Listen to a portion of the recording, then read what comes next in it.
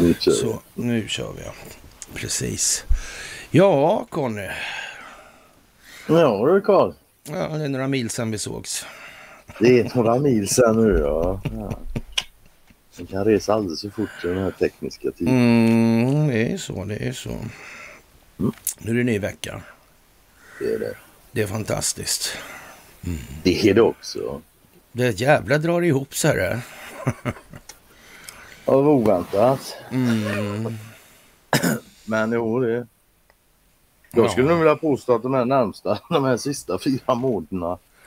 Och de Ja. kommer leda in till ett spektakulärt 2024. Det är ganska så säkert, ja. Mm. Jag såg att Jason Chaffetz inte trodde att Donald Trump, eller säga Joe Biden skulle sitta året ut. Det såg jag med igår. Ja. Ja, han, han, var ju rätt, han var ju lite på där i de här förhören med Hillary Clinton och de här. Han var ju rätt insyltad redan. Han är gammal åklagare också. Ja, han känner ju Tragaudi. Mm. Det gjorde han ja. Ja, nu gäller det att hålla tungan i rätt mun alltså. Ja, helst faktiskt. ja, Ja, men lite Så va? lite så. ja, Mm. Ja. Ja, ja. Ny vecka den fjärde september, nådens år 2023. Det är måndag och det är dags för ett måndagsmys. Du fan, jag kom ju precis på att jag inte satt fast micken. Den bara låg här. ja. ja. Så, Ja, jag vet inte. Det finns ju mycket att börja om. Man kan säga att eh, likheterna mellan... Nu har inte jag läst Snorres Edda i original eftersom översättningen kanske spelar en roll i de där sammanhangen. Det brukar ju kunna vara så alltså. det brukar kunna vara så. Ja. Mm. Det ligger i sakens egen natur. Och så verkar det som att Nibelungenring, eh, Wagners opera, det verkar liksom hänga på också på något vis. Det verkar som att Tolkien hänger på i det där också. Sagan om ringen, ja. Ja, det lustiga är ju lite grann det här med den här osynlighetsringen och kanske i modern tappning kanske atomvapnet och i Eddan där med hur är det egentligen med Mjölner, det här starkaste vapnet på hela planeten? Det verkar, ver, ja, verkar vara liksom, ja, ver, verkar vara liksom någon form av ja, vad ska man säga? En eftersträvad opinionsbildningseffekt alltså. Ja. Ja, Sådär. ja så. Mm. Ja. Och det mycket med kraft och, Ja. mycket med kraft och blixtar och dunder. Ja. Mm. ja, mäktigt vapen det där med ringen också, osynligheten där. Ver, verka utan att synas. Ja, exakt så. Ja, Faktiskt. Konstigt. Ja, men, ja, det blir inte mer verkant utan att synas än att vara osynlig. Det, så är det bara. Ja, det var skönt att höra din väna stämma så här efter eh, några timmar igen. ja, men detsamma, detsamma. Jag har så saknat det. Ja, ja faktiskt. Mm. Urban Medin har en fråga som man kanske... Eller vi börjar med att säga så här, vi tackar å det varmaste för era insatser. Tack för gåvor på Swish och Patreon. Tack för att ni fördjupar er på karlnorberg.se och tack för att ni hakar på Telegramtjänsten. Mm. Och nu är det lite grann så här en tid där man måste liksom tänka på Eleanor Roosevelt där. Det gäller att kanske inte skjuta fullt så mycket pianister alltså. Kanske det ska tänka man. mera på händelser, Ja. utvecklingsriktningar framgent relativt vad som har varit tidigare. Det verkar vara bra, bra grejer råd. i det här. Ja, ja det, det är alltid bra och det är bättre än någonsin just nu. Ja, nu precis. Alltså, det är Ja. mycket bättre än någonsin. Ja, Det måste man faktiskt säga. det vill jag nog Och. Urban har författat en kort eh, text eller fråga här en mening. Alltså undrar om Sverige har spionerat någon gång? Svår fråga. Mm, det är svår fråga, men det gör lite ja, skillnad om det är så eller inte är så. Ja, men man skulle nog kunna säga som så att kanske Sverige egentligen aldrig har behövt spionera för alla andra har gjort det åt dem. Men så skulle man kunna säga. faktiskt. Och det gjorde ju faktiskt ingenting bättre då för Sveriges del. Nej, det gjorde det inte om det är så. Nej, det gjorde inte det. Det blir ju lite tokigt allting det här nu. Det är en fråga om perspektiv. Men ja, mm. ja, ja det, så, det, så är det, naturligtvis. Ja, mm. men det, visst, det blir jävla tokigt för många. Här. Mm. Men många börjar liksom, då är det ma masktvång och det är ny-covid ja, och det är hej och hå och det är vinst i Ukraina för Ukraina och det är allt möjligt konstigt. Ja, lycka ja. till med det i Sverige. Ja. Men det är också ganska konstigt med alla de här som eller alla jag inte säga, men det finns de som anser att, att, att Sverige är en koloni till USA. Ja, trots att New Sweden var USAs första delstat. Ja, trots faktiskt. att New Sweden är ett amerikanskt skatteparadis. Mm. Trots att Tolkien tolkar den vita handen som någon form av verkställande grej. Som Vita huset ungefär. Ja, mm. ungefär. Mm.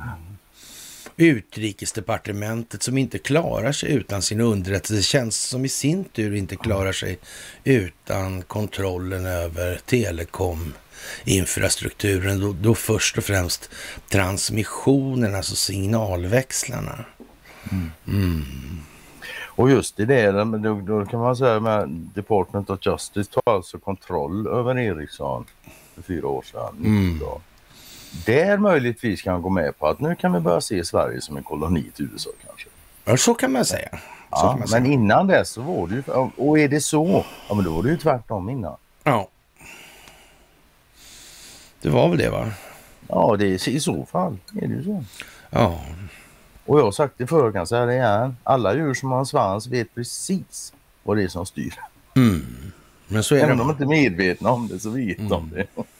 Vladimir Putin har haft möte med Recep Tayyip Erdogan i Sochi. Och mm. he hela världens ögon har tittat på det här. Det handlar om spannmål säger de då. Jag undrar om det inte handlar om ja, mer kanske. Kanske det va? Det står ju också att det gör va? Ja. ja. Jo, han tackar ju för att han hjälpte till med att släcka branden av en brand. Ja. Och så gashubben. Ja, Erdogan är övertygad om att Turkiet och Ryssland kan nå en överenskommelse om byggandet av ett andra kärnkraftverk i republiken. Det är väldigt märkligt det här nu, för nu börjar de snacka om att nu finns kallfusionen runt hörnet också. Ja, ja. Det är verkligen... Ja, alltså det, det, det, det är helt fantastiska kliv inom energiområdet just nu. Det är både kallt och varmt och implosion och fusion och ja, ambition över ja, ja. ja, det, det, det, det rör sig snabbt än vad det verkar. Och cheferna för Turkiets och Rysslands centralbanker är också närvarande här. De kommer att ha en sep ett separat möte här, eller i Sochi då.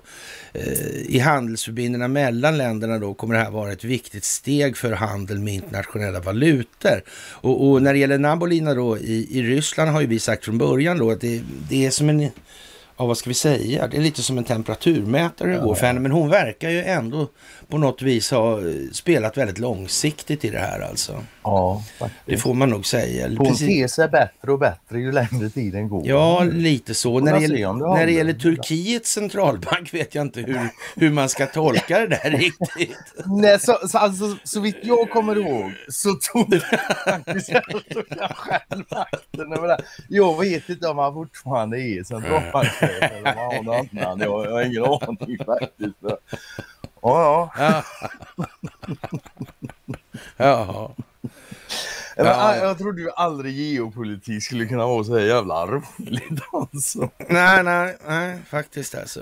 Dråpligt är väl ordet. Ja, mm. ja, som sagt. Och ja, släcka bränder. Ja, det brinner ju rätt bra nu för tiden. Det flammar upp som vi brukade säga för länge sedan. Ja, men det är ju... Det, är det var, här, det var vad som komma skulle. Och, och det, ja. Några stora krig blir det inte, utan det blir alltså småbränder, alltså modellen lågintensiva inbördeskonflikter. Men samtidigt ändå inte inbördeskrig, för det krävs ju ändå att eh, två jämbördiga parter som kan ägna sig åt eh, strategisk planering i det här. Mm. det är lite, lite märkligt.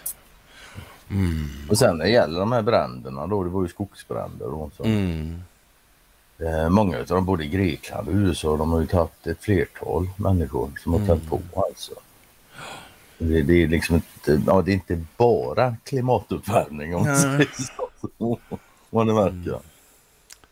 Nej, men jag tycker ändå liksom att det här är lite sådär, några saker är lite märkligt tycker jag. Det här är det att den här fäblessen eller viljan då för att hemfalla till de här skjuta pianistövningarna. Mm. Eller rättare sagt motviljan att lyfta blicken kanske. Försöka ta ett mer fågelliknande perspektiv på betraktelsen ja, av tillvaron. Alltså, det är de det gamla invanda mentala mm. rännarbanorna. De är djupare än man kan tro. Att det är så att säga mätt så också. Att det tydligen är jävligt illa ställt med befolkningen. Det kan man ju se då hur eh, de här MSM eh, eller traditionella hormedierna, ja så att säga, i, alltså hur de... Får uttrycka sig. alltså hur kommunicerar de med informationen? Vad är liksom... Vad är det för något reflexivt kontrollsyfte där? Och där, det har ju gått jävligt långt då, måste jag säga då, när, när man kommer fram till, till eh, Alex Schulman i dagens eh, nyheter idag då. Och, och, han blir generad av Jonas Gardells vördnad för statsministern. Och vi är väl inte kanske sådär, i alla fall inte jag, är inte sådär våldsamt övertygad om att det här statsministerskapet i sig är någon... Eh, för det här med att driva politik på något sätt är ju jättekonstigt. Verkligen konstigt just nu. Vad gör den här regeringen? Jättemärkligt. Mm. Ja. Och dessutom landade stora flygplan. Och du som är gammal sjöbuse, du vet ju det att det där med att gå på lätten, det gör man inte helst. Alltså, man vill gärna ha... Helst, ja. Nej, helst vill man ju lasta, man... lasta ja, ja, i samma hamn och sen så... Ja. Ja. Alltså det behöver man inte vara sjöbuse för. Det räcker att köra lastbil. Vet det. Ja, till exempel. Det ska vara, det ska vara fullast hela tiden. Mm. helst. Mm. Det lär ska varit last på den här galaxin alltså. Hit alltså. Mm. Alla möjligheter. Och sen kom det fler kärror också. Det gjorde det? Det, ja, det sägs så. Det sägs så okay. Ja. Jag vet ju inte det, men det är inte sånt som de talar om antar jag. Det måste nog vara hemligt. Mm. Tror det? I veckan tog Jonas Gardell emot statsministern på lunch i sitt hem. Det var en teater och, och Jonas Gardells så att säga, politiska profil i, i den svenska mediavärlden, den är ju... Ja, det finns en syrra, det finns en brorsa. Det går inte av för hacker det här alltså. Det är det. Det är en familj. Ja, det är det. Otroligt det alltså. Mm. Det var en teater där två personer åt pasta med körsbärstomater och solade sig i varandras glans.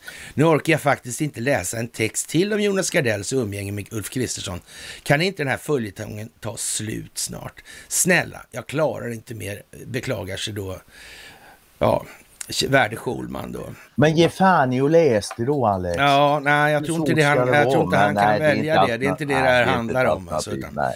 Nej. Tre gigantiska kulturtexter skrivna av Gardell i Expressen. Först en text inför att han skulle gå på Kristerssons Pride-mingel på Sagerska palatset i augusti. Sen en makalöst lång uppföljning, ett slags eh, inifrån-rapport på själva minglet. Och den tredje texten publicerad i tisdags när Gardell beskriver hur det gick till när han häromdagen bjöd Kristersson på lunch i sitt hem. Eh, ja, rakt igenom kallar Gardell honom för statsministern. Bara undantagsvis för Ulf Kristersson. Om och om igen påminner Gardell sig själv och oss om att eh, det är inte en person utan ett ämbete som kommer på lunch. Texten inleds högtidligt, nästan sakralt. Äntligen kom han då, statsministern. Och redan i stycket därpå, när Gardell berättar om fotograferna som var på plats, skriver Gardell jäklar vad mycket proffsigare statsministern var på handskakning inför kamerorna än vad jag var. Eh, på något vis får man intrycket att det, det säger någonting om att det är teater. Mm. Opinionsbildning, reflexiv kontroll. Statsministern, statsministern, statsministern. 14 gånger i en text. Vi förstår att det är en stor och viktig stund för Gardell, särskilt när han beskriver våndorna inför lunchen. Vad i all världens väg bjuder man en statsminister att äta? Jag, förstår, jag har först svårt att förstå frågan. Att inte veta vad man ska servera hade väl eh, varit rimligt om det inte varit något utommänskligt som kom på besök. Eh, vad bjuder man en sjöjungfru att äta? Eller om det funnits något mer praktiskt fysiskt problem i lunchen. Vad bjuder man en laktosintolerant statsminister att äta? Här ligger alltså hela problemet i själva titeln rätten, det vill säga vad bjuder man någon så fin som en statsminister på om man kommer på lunch? Vördnaden är ju så enorm att Gardell omöjligt kan lista ut vad han eh, skulle lägga på tallriken. Alla de här minglen och luncherna, alla de här långa, långa texterna i Expressen för ingenting alltså. Gardell löste det till slut. Det blev hemlagad pasta med körs körsbärstomater, oliver, rosmarin, chili, vitlök, olivolja och vitt vin. Gardell meddelar en detalj från matbordet. Han fick låna mitt eh, köksförkläde för att skydda sin skjorta. Gardell säger inget mer om saken. Frågorna är många. Jag har aldrig sett Kristersson luncha, så jag vet inte varför han behöver ett förkläde. Vet inte exakt hur grisig han är när han krubbar. Men jag är mest intresserad av hur gick det till när förklädet hamnade på Kristersson? Antingen var det han som bad Gardell om förklädet. Får jag låna det så att inte min skjorta får fläckar? Eller så var det Gardell som erbjöd förklädet. Statsministern kan ta mitt förkläde så att statsministerns skjorta inte får fläckar. Jag kan inte bestämma mig för vilket av de två alternativen som är mest generande. Gardells lunchgäst styr en regering med stöd av Sverigedemokraterna vars toppnamn Björn Söder är en baddare på eh, nationalekonomi. Nej, det står inte här förresten. Nej, eh, återkommande och nyligen uttryckt sitt hat mot HBTQ-personer. Ja. ja, men när lunchen är slut är resultatet noll. Det kommer inga löften. Kristersson gör ingenting. SD är fortfarande en partner. HBTQ-hataren Björn Söder sitter kvar. Alla de här minglen och luncherna. Alla de här långa, långa texterna i Expressen. För ingenting. Det är bara en teater där två personer äter pasta med körsbärstomater och solar sig i varandras glans. Gardell avslutar sin lunchrapport med att han hoppas att Kristersson har tagit till sig av det han sagt och, ja, och så det ödesmättade slutorden. Annars får jag väl bjuda honom eh, en gång till. Det går en rysning genom mig. Det här kan inte vara sant. Mardrömmen fortsätter. Ja, det verkar precis som det handlar om att få resonans någonstans eller skapa kanske kognitiv dissonans rent utav. Och få liksom opinionsbildningen att ta vägen en viss giv, i en viss given önskad riktning. Känns, jag tycker det känns så. Faktiskt. Ja, det, är inte så, det är inte så fint med den här statsministern längre. Det verkar vara en, en sketen barnhandlare som har dåligt bordsskick helt enkelt. Mm. Man kan säga att eh, bilden som målas är som jag ser det är när skit kastar skit på skit. Ja. Och det är väl det som ska synas liksom. Det, det, det finns inte så mycket annat i det här landet vad det mm. verkar de högre. Ja dimensionerna av mm. samhället. Ja, Brasa skoja sa jag när jag var liten och såg en eh, eld sådär. Och nu är det Brasa skoja på Musköbasen vet du vad alltså. Och de har ju egen brandkår för övrigt, så det kan jag ju säga. Ja. ja. Det är som du skriver, tidsanpassad värre. Ja. Mm. Mm. ja. Det finns ju några så här riktigt konstiga grejer som kommer nu. Mm, det här med att lämna in uniformer och kängor och sånt där. Ja, vi, ja det kommer att en annan Kan man säga är det absolut säkraste sättet att se till att ingen mobilisering kommer äga rum i alla fall. ja, det, alltså det, det är ju grejer, det kommer ju grejer nu som den här artikeln ja. med, med Schumann och, och så det här med militär.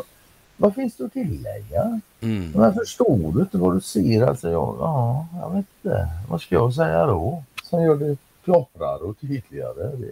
Ja. Ja, det är konstigt alltså. Både ja och nej. Nej.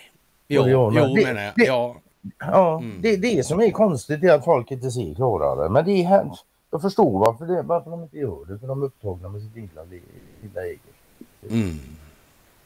Så systemet är ju självupprätthållande på det sättet. Mm. Det, håll, det går ut på att hålla individen så jävla sysselsatt så den inte har tid att kollust med större mm. saker än sitt eget liv. Mm. Så det kommer komma en hel del konstiga saker här nu. Ja. Vilket å andra sidan, det har du gjort länge tycker jag. Det är bara frekvensen som kommer att öka. Mm, ja men lite så faktiskt. Mm. Det kommer att svänga snabbare helt enkelt. Mm. Ja, och det här med Finns det någon planering? Finns det någon entitet som motverkar den djupa staten? Finns det en koordinerad verksamhet? Inte jag, men det ser så ut. Ja, onekligen gör det ju det. Ah, men eftersom man knappast kan besegra då den här filosofiska materialismen utan, hem, utan att göra det i hemlighet. De skulle ju skydda sig direkt man sa någonting om de höll på med det alltså. Det är faktiskt så. Mm. Ja. Det är ju lite så. Mm. Det är helt och hållet så skulle man också kunna säga. I för sig, man, man går ut och säger att man är ute efter dem. Man talar inte om hur och sådär. För då man mm. stressar upp dem. Ja. Ja. Men, men det säger ju sig själv. Om, du kan inte berätta. Så här ska vi göra för att ta fast er. Era fulingar. Ja. Det är så jävla dumt. Ja. Man svimmar. Ja. Och jag vet inte, det kanske beror på hur mycket man har följt den här situationen i USA och amerikansk så, inrikespolitik. Så, så, är det, det, det kan ju vara liksom ja, ja. mycket så att om man inte har säga, haft det som intresse under någon mm. tioårs, det, tioårsperiod eller vad som krävs. Nej, men det är väl lite, ja, lite åt det hållet är det ju ja, trots ja, allt. Ja, ja. Alltså, man måste Absolut. ju så att Absolut. säga. Det, och det, där har du också själva anledningen till att det inte går att släppa allting på en gång. För det är så få människor som har lagt tio år av sitt liv på saker som faktiskt betyder något. Men de behöver inte vara ledsna. Det finns de som har lagt mer. Ja, ja, ja så är det. Så är det. Ja, men liksom det, ja. Mm. Ja, ja. Ja, ja. Det är ju... Jag, jag ser det hela lite grann som årstiderna faktiskt. Ja. Ja. Men det kan vara bra att göra det tror jag. Mm. Mm. Det kan det. det kan det. Och här hemma så måste det ju svida och då blir det penningpungsparkar alltså. Ja. Ett helt gäng alltså. Ja, Pensionsmyndighet. Ja. ja, du är på den ja. ja. ja. Pensionsmyndigheten har brustit i sin serviceskyldighet. Vad kan det bero på tror du? Det skulle kunna bero på skuldmättnad i grund och botten. I grund och botten gör det det. Helt, ja, eller ännu mer i grund och botten. Mm. Ja, ännu mer i grund och botten så, så beror det naturligtvis på egennytta. Alltså. Ja, men så är det också. Ja. Så är det ju också. Men kanske de på Pensionsmyndigheten eh, har kommit på att det här systemet kanske inte är så där våldsamt långsiktigt hållbart. Kanske det, det borde de. Och, och, och, i så fall så bör, då bör man ju inte liksom Ja. Men Göran Persson tipsade ju om att det kunde vara på det sättet redan för ja, mm. 20 år sedan eller om det där. Ja. Mm. Så, han var ju, ja, han var ju förvånansvärt rakt på sak om det också för att vara politiker. Ja. Han sa, ganska, han sa ganska ordagrant att han var hyfsat övertygad om att folk kommer inte alls vara nöjda och glada om de förstod vad det var de hade gjort. Men det är ju ett helt makalöst mm. uttalande. Ja, fantastiskt. Ja, det är konstigt. Det är egentligen rätt märkligt att de här institutionerna och myndigheterna kan vara så in i helvete ruttna utan att någon har sagt något. Mm. Ja, men, de kan bara vara så ruttna för att ingen har sagt något. det är det är. Ah. Lite, lite som det här med projektering av vägbyggen och grejer ah. som vi inne på sist. Alla vet det men ingen säger något. Nej men då så, då går det tills det havererar helt enkelt. Mm. Det är kaos istället. Eh, ja, Bo Rothstein har jag läst några böcker av på 80-talet där. Ja, tack och Universitetet. Du vill ha tillbaka den tiden va? Ja, Riksbanken ja, är inkompetent alltså. Seniorprofessorn anser att Riksbanken med riksbankschefen Erik Thedéen bör frånta sitt självständiga roll med anledning av inkompetens alltså. Kan man frånta oss något som man faktiskt inte har? Är så va? Nej, jag vet inte. De har väl ingen självständig roll i förhållande till bankerna? Det har jag svårt att se att de har faktiskt. Ja, men eller hur? Mm. Det skulle vara det faktum då att, de inte, att det inte finns någon mekanisk koppling mellan mm. deras räntor och affärer. Det är väl det kanske. Han, han drar till med sånt här då. Riksbanken saknar kunskap och har misslyckats med sina huvuduppgifter att hålla inflationen nere och kronans värde uppe. Dundra seniorprofessorn står det. Jag, vet, jag får samma intryck faktiskt som med Gardell-artikeln. Det här verkar vara skit som kastar skit på skit. Ja. Konstigt det där alltså. Mm. Det kan vara så att skuldmättnad spelar en roll i det här utvecklingsförloppet. Möjligt, möjligt. Kan nog inte utesluta. Du skriver att det kallas för projicering. Ja. Ja, man kan, man kan skriva men, så. Det kan man. Men med det sagt så kan vi säga så här också. Riksbanken är inkompetent. Ja, det vet jag egentligen inte. De har gjort precis det som någon har tänkt att de ska göra. Och de har gjort det jävligt kompetent. För de har ju dragit den här bluffen hur långt och länge som helst. Mm. Så de är egentligen ganska kompetenta. På det här. Problemet är väl att folk förstår inte varför de är där. Mm. Det är den verkliga anledningen. Ja. Och den djupa och... staten där i de här sammanhangen. Första riksbanken på planeten spred sig över Europa. Och i mm. Westfaliska freden så infördes nationalstaten som mm. begrepp. Och många blev helt enkelt med riksbank där. Och på något vis så klingade det här stormaktstiden bara av på något konstigt sätt.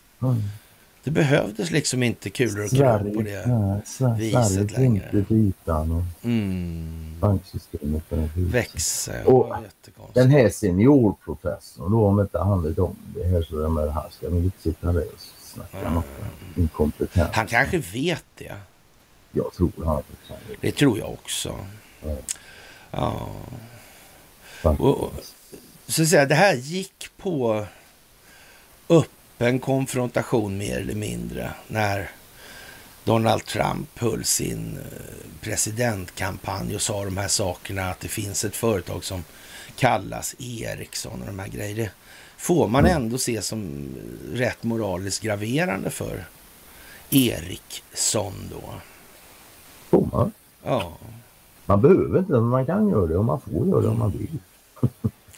Men eh, man, eh, ja vad ska jag säga, det, X22 tycker ju då att han, eh, ja djupa staten väntar sig aldrig att Patrioterna skulle vinna 2016. Jag vet inte faktiskt. Jag, jag tyckte du missade lite grann seniorprofessorn här.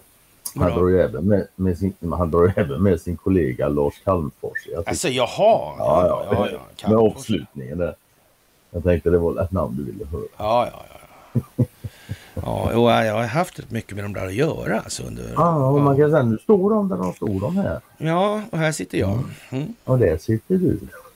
Ja, mm. och jag vet inte när man måste ha varit medveten om det här från exempelvis Investors sida. Det Men det måste ha varit väldigt länge sedan alltså. Det är ett tag sedan, det tror jag. Mm, mm, mm, mm. Det är det, helt klart. Så alltså. Frågan är om det inte var innan millennieskiftet. Ja, det är väl nästan så alltså. Det där med skuggbanksystemet och Blythe Masters. Det kan ju inte rimligtvis ha varit så att de inte eh, förstod att när man börjar göra de här derivaten och man så att säga använder skulden eller vad man ska kalla det för då. Mm. Den här fiktiva inlåningen eh, och använder säkerheten för det då mm. flera gånger. Eh, då blir det kedjeeffekter när den går sönder skulden. Och så, kan man säga. Å andra sidan det var ju redan kedjeeffekt. Liksom, så vad fan skulle mm. de göra? Så, så, så den här diskussionen om vem som eftersträvade den här konkursen 2008 av banksystemet. Mm.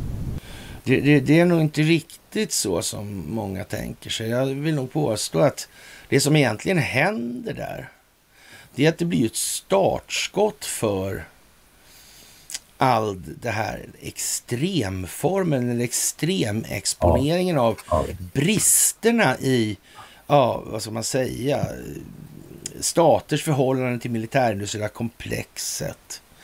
Det här... Alltså, utvecklingen efter, mm. efter det utav det ekonomiska systemet är ju turboladdat helt enkelt. Ja. ja eftersom det är skuldmätare går fort som mm. fan. Och, så kan du då, ja, har du en idé om att fan vi får nog göra något åt det här, vi gör det genom att exponera det. Alltså se till att det överlever en sån finanskris. Ja. Och sen får det fan visa upp sig på turboflottan de närmsta 10-12 åren. Ja. För det är vad som, vad som har gjorts. Mm. Ja, så ja, precis. Mm. Och sen det här att militären ligger bakom Donald Trump då. Ja. Skitsvårt att räkna ut liksom. Det ja, vi kan ju säga, vi kan ju säga så här att de här åtalen som är mot honom nu då, då, varför har inte militären tagit tag i den frågan tidigare då? Om det skulle vara på något ja. vis så att det hade bäring på verkligheten. Varför har de, har de stått som idioter och inte fattat att Donald Trump försöker göra statskupp eller? Verkar ju så. Ja, det, det är I så fall. Ja, ja, köper man in på det där så är det ju så det ser ut. Ja. ja. Mm. ja. Mm. Och det, ja, det kan man tro om man vill kanske inte. Jag nej, jag, nej, det där är svårt att tro på alltså. Ja, ja. ja. Det finns säkert någon som klarar av det, det är inte övertygad om. Samtidigt som det är så att eh, ska militären in så måste det ju ja, finnas lite pedagogisk... Ja, precis. Alltså, det måste finnas måste färdiga pedagogiska insatser gjorda, alltså genomförda. För att folk ska förstå behovet av att det måste vara så. Mm. Ja, alltså det är ju och, och det är ju klart att man, man, man, man, kan ju vara naiv och, och fromt troende sådär. Och, och tro liksom att de kommer ta reson, vad de kommer att förstå tidigare. Kan man. Kan man vara. Ja, men eh, nu finns det ingenting att hoppas på i den ändan längre. Nej. Det, Nej. det blir en glad överraskning allt som inte blir så att säga ja, ren reguljär uppvisning i det här. Ja. Och eh, då hade det naturligtvis blivit så att det hade sett ut som en kupp alltihopa. Och det hade inte varit så där särskilt lyckat. Va? Om man hade ja, det är ju Nej, alltså det, det, är ju en otrolig fördel om det kan finnas en opinion för att fan militären ska inte de göra något när de väl gör något. Ja. Eh, det kan man säga är en given förutsättning egentligen. Ja, men det, blir, det blir ju inte svårare. Och jag misstänker att det är en hel del människor borta i USA nu som tycker att mm. nu är det faktiskt lite läge för lite militär snart. Det kommer. Ja. Det kommer. Ja. Mm. Och i Donald Trumps fall så vill han alltså att en tillräckligt stor andel av befolkningen skulle ta det sista avgörande beslutet om USAs framtid. Alltså. Men då måste befolkningen också förstå vad som har hänt tidigare alltså. Och eh, vad som händer i nuet. Alltså. Men det handlar alltså mindre om personer, det handlar mindre om Donald Trump som person. än... Det handlar mer om en upplyst och medveten befolkning som jag tror mm. någon har mm. nämnt. Någon Precis, ja. Mm. Ja, ja. Det är speciellt alltså. Mm. Och nu säger 7 till 8 årsplan drar man ju till med då på X22 numera. Eh, varje gång. Men det där, det, där är, det där är som sagt som det är. Liksom. Han kom alltså inte till jobbet. Ah. Och, och, och, sen var det ingenting förberett hur det här måste gå till. Alltså, det var så var det inte. Det, det får man vara väldigt naiv tro, för, om man ska tro. Faktiskt. Ja, faktiskt. faktiskt. Ja. ja. Och sen är ju svårigheten då medialt, liksom hur kommunicerar man den här informationen? Vilka kanaler ska man använda? Vilka har den djupa staten använt i alla tider? Mm. Mm. Hur utbrett är det här egentligen? Mm. Ja. ja, ja. Ja. Jag vet inte, alltså det har ju växt fram under sekel. Mm. Hur utbrett är det? Ja. Mm. Det vet vi inte. Det är... Nej. nej. Vi, men vi vet att det är utbrett. Det ja, vet. det vet vi. Men, men, mm. och, men Hur sagt, exakt? det ligger ju i sakens natur att det inte är särskilt lätt att få reda på. Ja, faktiskt. Mm. Lite som en stingoperation. Det, det, det ja, men...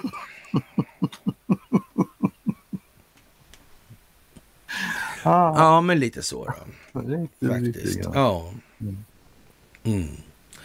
Och, och, men då samtidigt så kan man ju inte liksom spela det på det viset. Man måste ju ha kontroll på de här medierna, eller i alla fall ha en plane, ett planerat kontrollövertagande. Sen får ju samtidigt, samtidigt då folk som är för den djupa staten och verk, verkar inom den djupa staten vara kvar där inne då. Ja. Men det här är ju liksom lite andra dimensioner av samma sak då. Ja, och 5D-schack ja. nämns ju ofta. Och, ja. ja visst, det är ja. så bra liknelse som mm. någon. Man kan säga att det är nog inte helt fel att ha byggt skyskrapor på Manhattan om man ska sätta sig in i sådana här operationer. Ja, men det, liksom innebär... det är också lite ja. 5D-schack det där va? Det, det, kan, det kan ju... Och... Ja, alltså viss, vissa då sådär logistikproblem kan tänkas mm. uppstå i de här sammanhangen. Mm. Ja. Och man har ju samlat bevis nu, ja, hur länge som helst alltså. Ja. Mm. Och nu kommer det och det blir inte så mycket Biden misstänker jag som folk kanske är inställda på. Det kommer nej, att bli Obama, Obama och Hillary. Mm. Så kommer det bli alltså. Längre bak ändå till slut. Mm. Men ja. ja. Det kommer det. ja. Vi får se. Obamas brorsa ska ju tydligen bli 19 ja. Och, mm. Var 19 ja. Tacke Karlsson. Ja. Tacke Karlsson ja. Och mm. vad heter han? Malik va? Malik, ja. Va? Mm. Ja, jag vet och. inte. Det är mycket konstigt alltså. Mm. Ja. ja, ja. Vi får se. Ja. Och man har samlat in hur mycket information som helst. Ja, all. Och då kan man ju kanske, kan man kanske fundera lite på hur det kommer sig att danskarna upplåter sitt telenät för till, eller till amerikaner för att spionera på svenska politiker. Vad, vad kan det här egentligen innebära för någonting? Rent faktiskt alltså. Vilka är det egentligen som gör vad och varför? Ja, kommer det här sig? Mm. Mm. Och om man, om man lägger ihop alla de här sakerna som vi rabblar hela tiden varje gång så här. Så, och så tänker man efter ordentligt. Men var det inte så här och så här då? då? Så att inte, var det inte det där som skedde, den takten och sen skedde, skedde någonting annat i, i, samtidigt liksom? Mm. Så här, så, jag, hur hänger det ihop inte. egentligen? Ja, men kan det hänga ihop hela vägen ner till eh, kryptologi kanske? Hagelin och... Ja, men hur långt ska mm. vi gå? Ja, det kan man fråga sig. Vi kan gå långt i alla fall. Det kan ja, vi göra det när det gäller det här med avlyssningar och informationsflöden och ja. spionerier. Och mm. Vi kan gå jävligt långt i det. Ja, det kommer att gå och det, och det, och det finns väl en, en, en hyfsat modern liten uh, artikel som heter Swedish Kings of Cyberwar. Ja, det gör ingenting bättre för den djupa staten. Det kan man... Och det var ju tråkigt. Ja, det var ju väldigt synd. Tråkig historia. det ja. är ju, men inte på det sättet. Ja, och Donald Trump han eh, ja, lägger väl inga fingrar emellan nu för att se till att Joe Biden eh, Ja. Nej, den skämmer han ut så gott det går. Ja, han gör ju det. Alltså. Ja, ja. ja, ja. ja. Och Joe, han är ledig. Ja. Han har varit ledig nästan halva tiden. Av mm. Och, det, och då, då kan man jämföra det där med media när, när Trump var president. Så, mm. Och det skrev han spelar golf och han gjorde fan ingenting. Biden han har varit ledig i 40 procent av tiden. Det, ja. ja. Jag har inte sett så där mycket om det i media. Att han, ja. Så. Ja. ja. ja. Jag vet inte vad man, till, till och med svenska borde kunna förstå att när det läggs så satans mycket tid och energi på att få stopp på Donald Trump. Mm och världen ser ut som den gör. Och jag menar, det, all, alla genomlider fyra år med Donald Trump som mm. president. Hur mycket nya krig blev det? Mycket hur gick det för USA? Mådde folk ja, man kan väl säga så här, om man, om man tar den här Laptop from Hell då, som exempel ja. nu. Och, och, och, och, så tänker man på den här löken Sassman Mm. Som liksom öppnade ett fönster bara. Fönster, så ja. ja. Och den här laptopen har ju egentligen haft samma funktion alltså nu, visar det sig. Nu kommer ju den att länka ihop eh, mm. DNC, de kommer in på Setridge, de kommer in på eh, Julian Assange, de kommer in på Edward Snowden och alla de här vägarna. Ja, Obama, Clinton. Det landar liksom i samma vändplan eller vändzon längs vägen alltså. Mm. Det är som det är med att vara svensk. Det är som det är faktiskt. Ja. Och nu går dessutom Donna Brasil ut. Jaha, och säger, den har jag ja, missat. Okej, okay, det är Gateway Bandit här. Jaha. Ja, och hon går ut och säger så här. I've never seen anything like this with Donald Trump. I mean, being indicted, in, oh, indicted, indicted. That's making him stronger, raising $10 million using a mugshot. We have to respect the fact it's a movement. Mm, det kan man väl säga att det är en movement. Ja. Det kan man säga. Och som sagt, det är Donna Brasil som ja. känns obekväm med det. Ja, och så har vi den här andra Donnan också. Hon som tappade ja, bort kors... sin dator. Hon med, ja, med korsskruvshåret. Där, ja. ja. Som jag aldrig kommer på vad hon heter. Men... Exakt! Ja. ja. ja. Men ja, hon i alla fall med korsskruvshåret. Ja. Ja, det är för många. Tänk att de inte har, innehöll någonting de där datorerna. Var inte det konstigt? Ja, nej, det verkar ju så. De är helt tomma tydligen. Mm. Ja. Eller så ligger de och mognar någonstans. Ja. Man vet det. Ja, och nu så blir det ju jättekörigt det här med Obamas och Clintons och Soros och ja. sådana där grejer. Mm. Och, och Soros. Blir... Ja. ja, Soros går ju dessutom ut, eh, Alexander Soros, går ut mm. Offentligt nu och säger att oj vad vi ska bekämpa Donald Trump här borta 2024. Ja, det kan man ju tro. Det, Ja, jo, visst. Jag tror, inte, jag tror inte det blir riktigt aktuellt. Nej. inte fullt ut så troligtvis. Mm. Frågan är ju alltså... Men det är inte det som är grejen utan de går ut och säger det. Mm. Ja, jag tror Daniel Sachs, han, han måste slå klackarna i taket. Ja, ja, ja, ja, det måste han göra. Det måste han ju göra. Mm. Hur var det där med Fanny? Var hon gift tidigare? Det vet jag inte. Det var hon säkert eftersom frågan. Ja, jag tror det. Jag tror hon var ja, det. det så det. Okay. det var någon konstig och det var inte någon sån här superhederlig kille så vitt jag förstod det. Okay. Mm. Jag får tala upp det om ja. du tänker tala om det. Ja. Bara jag hintar lite om att det skulle möjligen kunna vara så. Alltså. Ja, mm.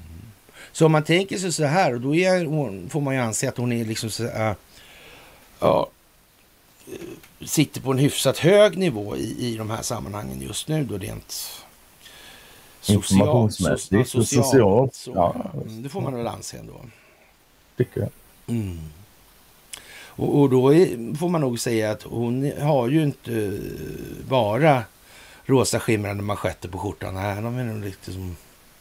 De verkar lite kladdiga de där manschetterna helt enkelt. Föga förvånande. Ja, verkar liksom lite kaka söker maka där nästan. Ja. ja, skitigt verkar det vara i alla fall. Det, det kan man säga. Helt och, kliniskt rent är det nog inte. Men jag, jag, jag, tror det känns ju så här i alla fall. Och, och när eh, Kamala Harris eh, tar tag i det här nu och ska styra upp det här. Då känns det som att då kommer det spåra ur fullkomligt alltså. ja du. Det bara kommer krylla. Men, ja. Det kommer, ja. Alla överstar i hela marinkåren kommer bara jubla och tycka toppen äntligen alltså. Äntligen ja, det är vad de kommer säga. Äntligen. Ja. Och sen släpper de loss. Och sen kommer Michelle Obama in då. Eller Michael Obama vad man nu vill kalla henne för. Ma Michelle. Ja. Och nu börjar det ju höras hela tiden det här med den här födelseattesten. Men hur fan blir det då egentligen? Om man inte är amerikansk medborgare? Ja, alltså då, då blir det ett juridiskt läge som jag inte ens... Ja, det får folk tala om för mig. Så fall får jag lyssna på dem lite och bilda Men, men blir det inte så om det är en ogiltig president under hela den resans gång? Är det verkligen så att allting... Alla, alla beslut som har fattats, de gäller ändå då eller? Nej, det borde de inte kunna göra. Nej. Ja, de saknar ju helt enkelt juridisk grund i så fall. Det har bara varit ja, de har, de har ingen rättslig grund där då i så fall. Nej. Nej. Men, men jag tycker ändå, det, jag tycker jag har hört det där exemplet som Donald Trump säger. Han sa någonting om, om tjuven som snodde diamanter så åkte han mm. fast mm. och så fick han inte behålla diamanterna. Va? Mm. Det har han sagt många gånger. Ja. Borde inte det vara applicerbart i det här? Kan det vara det han har man... tänkt på att ha på, till på slutet? kan man tycka. Det kan ja. man tro. Ja. Inte ja, det är ju konstigt alltså. Och det han... är konstigt. Ja. Det är det är ja. jävla konstigt. Hela, hela jävla Barack Obama och hans presidentskap mm. är konstigt. Men är det, det inte för konstigt? Jo, så kan man också säga. Det, då, det är over the top är det. En falsk födelseattest, ja det blir ju hela presidentskapet värdelöst. Och sen har han dessutom mm. utsett en sån som Michael Flynn. Inte mm. en gång utan två gånger. Mm. Men kan han verkligen vara så jävla dum i huvudet? Det kan han säkert. Du ska inte underskatta, underskatta folks förmåga till sånt. Men, men jag tror inte heller man ska ja. utesluta möjligheten. Om Nej, det ska man inte. Jag menar, om vi säger så här då istället. En, en homosexuell crackrökande ja, lirare sådär. Mm. Mm. Och, och ja, vem vet vad han har haft för böjelser i olika sammanhang. Det är ju liksom inte den killen som ja, så att säga, frotterar sig med umgänge som är längst ifrån ja, målgruppen för att utgöra föremål för Hollhawks business alltså. Så är det ju faktiskt. Mm. Mm. Så man kan ju säga så här att all den stund det här så att säga blev en öppen bok att läsa ur med, i och med Donald Trumps presidentskap. Så då kan man väl nästan säga så här, då kan man ha bytt hanterare mm. på till exempel Obama. Det är ju idealet. Och så hade man haft en kontrollerad hanterare redan innan också. Så. Men, ja. ja för, för jag tror man har spelat de här tillgångarna rätt så Noggrant alltså? Noggrant och så jävla mycket och effektivt det går. Ja. Helt enkelt. Men, skulle du själv göra på ett annat sätt? Om du hade chans? jag skulle tala om för alla precis vad jag gjorde. Ja, faktiskt. Hela tiden. Ja, allra, helst, allra helst som jag hade som syfte att berika mig själv på alla andras bekostnad. Då hade jag definitivt... Då hade jag verkligen talat om det. Alltså. Ja, ja. Mm. Gått runt som en anka hela dagarna bara ja. blandra. Mm. Mm. Ja, fast nu är det här så jävla illa så det går liksom inte ens att eh, ja, ur ett altruistiskt perspektiv tro att man ska ja. nå någon större framgång. Mm. Nej, det kan Om man avslöjar allt som... Det går inte alltså. Det, nej. Nej, så, alltså, jag har sagt det förr så här det igen. Vill du se kaos och panik, släpp lös all information på en gång. Mm. Det är ungefär som det där med fri energi. Liksom. Ja. Ja, det blir säkert Va? jättebra det... för stamnätet. Ja, det är ungefär som när laddade vapen till små barn. Mm. Det blir säkert jättebra. Jo, men alltså det, är, det, det, kan man väl säga om man ska vara krasst, som vi sa häromdagen. Då, att det, mm. det, bästa sättet är egentligen då, eller enklast. Bästa, då, snabb, ja, snabbast och inte helt, inte helt ineffektivt. Nej. Det är ju liksom, ja, får, folk får ha hur mycket vapen de vill. Släpp all narkotika, fri och släpp. Al släpp vapen och droger fritt. Ja. Ge det ett par år. Alkoholen också. Ja. Och ge, ja, det, ge jag räknar alkohol som en drog. Så ja. ja. Släpp vapen och droger och alkohol och fritt. Mm. Ge det några år. Så har folk lärt sig den hårda vägen. Ja. Inget jag rekommenderar men ja. Nej. Ja, nej, jag vill, gärna, jag vill gärna slippa uppleva det men det är fan ett alternativ. Mm. Ja, det är mycket sånt där som dras till sin spets på ett sätt som aldrig tidigare har setts mm. under människans historia faktiskt. Det blir lätt så när den abstrakta höjden har saknats under lång mm. tid. Då blir det ganska bisarrt på slutet. Ja. Och i New York kom polisen använda drönare och låta flyga dem över människor för, och, och, som sitter i Central Park med picknickkorgar för att fira kommande helg. Alltså. Oh. Ja, de här drö drönarna och, och, lite värmekameror och så, de kan ju faktiskt titta på rätt mycket saker. Det kan de ju faktiskt göra. Ja. Det kan de. Men det är inte, inte bara det faktiskt. Det var SVT då. Konflikt mellan kriminella. Polisen sätter upp kameror i Gislaved. Ska de ha tillfälliga kameror och drönarbevakning i tre månader. Jaha. Ja. Gäller från och med imorgon tisdag och ja. tre månader framåt. Eh, just ja, utanför Jönköping. Undrar vad det är för någonting där. Det är bostadsområdet Trasten, Citytorget och Torggatan med omgivningar. Mm. Mm. Ja. Men man, man, om, man kan ju säga så här att man talar om att man har bevakning där då. Det kommer i alla fall få en avhållande effekt av någon anledning. Det är ju så. Mm. Och, och, man talar ju oftast inte om var kamerorna sitter innan sådär för folk. Inte om man inte vill ha dem förstörda. Ja, men lite så. Ja, men hade jag varit kriminell där och jag vet var kamerorna fanns. Så, ja, men jag, jag hade kunnat tänka mig att göra något åt dem. Ja. Ja, ja, ja, ja, ja, ja.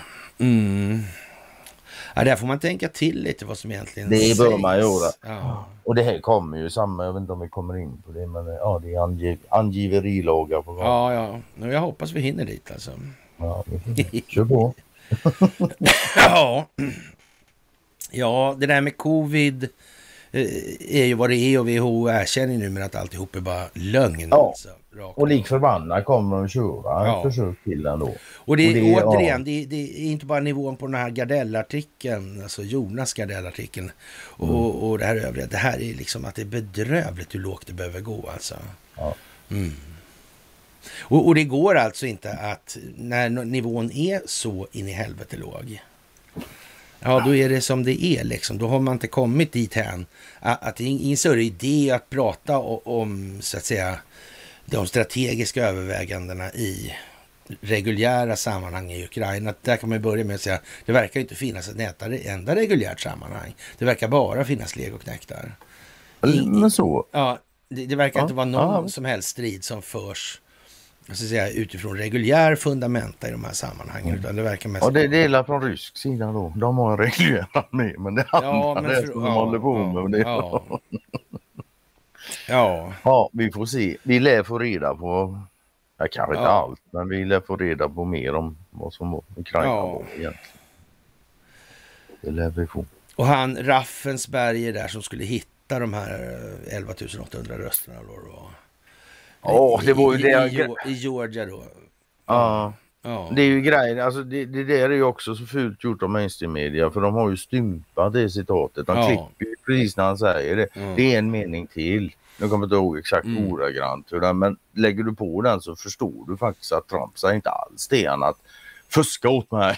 Nej, det gör han inte. Nej. Men konstigt nog så väljer media alltid att klippa ja. det. Jävla märkligt. Och eh, det går lite tungt för New York-börsen. Överlag så är jag säker på att Nasdaq kommer att tappa rätt mycket av någon anledning. Ja. Som ja, alltså, inte på minsta vis är okänd för den här publiken, som vi har i alla fall. Ja. Uh, och det, det, är, det är väl så att, att, att alltså, börsfall och börskrascher och sånt, de har väl en historia av att träffa, inträffa fram på höstkanten. Ja, det har de faktiskt. Mm. Det har de. Mm. Ja. Och, och, kinesiska långivare lämnar ut miljarder dollar till ryska banker eller västerländsk, efter västerländska sanktioner. Konstigt Men alltså. vad märkligt. Ja, ja. Det, det var ju udda. Jag Hur vet inte. Det, ja. ja. det är svårt att förstå alltså. Jätte, jättemärkligt. Ja. Ja. Mm. Jag hörde någon ny där med, med taroisarna. Ja. Jag fattar inte det. Jag, de säger att de har skrivit till mig. Sådär, men jag, det hamnar, okay. i, hamnar i skräpmejlen i sån fall, alltså på något vis. Aha, okay. jag, jag, ser inte dem, alltså, jag hittar inte. Jag, jag har många mejl i skräpmejlen. Alltså. ja, det kan jag tro. Alltså, tar, ja, Och jag vet mm. ju inte ens vad de heter. Så det... Ja, och... Ja. Det gräsar nog vad det lider. Anti-Defamation League verkar sitta lite skrynkligt till i, ja, i alla fall i Elon Musks ögon. Mm. Vad tråkigt då. Mm, men de har ju varit i farten väldigt länge å andra sidan. Och sen de startade? Ja, men de fanns ju redan på 30-talet där alltså. Mm. Ihop med Salzbergers och Britt när det gällde det här Hitlerprojektet eller No Attack on Hitler-projektet. Mm, konstigt att det var så då alltså. Och de mm. hade, sen fanns det ju det där konstiga Havara Agreement också. Konstig mm. grej där alltså. Uh. Märkligt. Det, fann, det, det fanns en hel del märkligheter där mm. i början på andra ja. eller, och samtidigt som det här var då med Havara Agreement och de här grejerna. Ja, då började ariseringsprocessen också. Ja. Ja. ja tänk så det sammanföll i tiden. Ja, det gjorde ju det. Ja. Helt slumpiskt. Ja, faktiskt. Mm. Här, nu är det mycket slumpmässigt här allting. Och det här är ju en av de mest framstående artiklarna som vi någonsin har tagit upp. Då, det är naturligtvis Expressen då. Och, och, ja, när det inte kan bli bättre med krafttagen i den djupa statens högborg, så börjar Nyström med här alltså. Eh, för att snabbt lyckas förstärka tillgången behöver alla anställd personal ta sitt ansvar och bidra, skriver Försvarsmakten och ber dem lämna in termosar, vattenflaskor, kängor och uniformer alltså. Ja, inte ens i fredstid lyckas Försvarsmakten förse sina soldater med kläder och kängor. Hur ska det gå om det blir krig? Ja, det är en sorglig följetong med decennier på nacken. Ännu en gång framkommer att svenska soldater saknar grundläggande utrustning. Det finns inte kläder och kängor till officersaspiranterna eller till de unga män och kvinnor som snart ska rycka in som värnpliktiga, rapporterar Dagens Nyheter. Eh, för att snabbt lyckas förstärka tillgången behöver all anställd personal alltså eh, ta sitt ansvar och bidra, skriver Försvarsmakten och ber dem lämna in termosar, vattenflaskor, kängor och uniformer. Eh, det, det, kallas i direktivet för krafttag. Det sägs att anställda ska ta sitt ansvar. Eh, ja,